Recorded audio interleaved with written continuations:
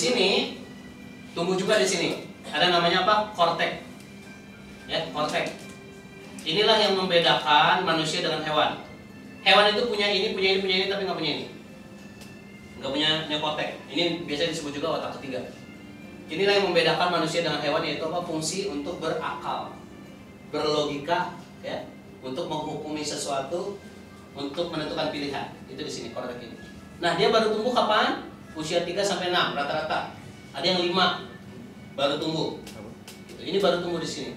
Nah, saat tumbuh bagian otak yang ini Bapak Ibu, di sinilah anak-anak kalau mau melakukan sesuatu dia butuh alasan. Kenapa aku harus belajar? Kok mama nyuruh aku belajar? Apa alasannya? Kenapa aku perlu sholat? Nah di sini baru kayak gitu. Kenapa aku perlu apa namanya buang sampah di tempat sampah? Kenapa aku perlu ngabisin makananku? Kenapa itu? Jadi semua perlu kita siapin alasan-alasan kita di sini.